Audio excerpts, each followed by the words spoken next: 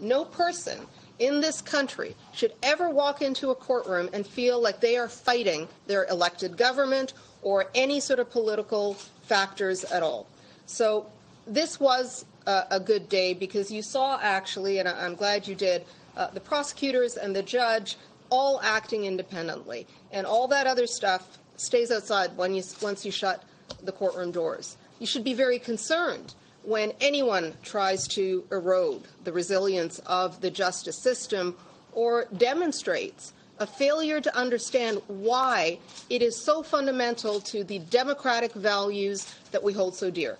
There are times you agree with what happens in a court, there are times you don't, and that's fine. But what you don't do is you don't put your finger and try to weigh in on the scales of justice. That is not what uh, should be happening. And so uh, I think we have lots of lessons to learn from this and other cases. And I know Canadians are paying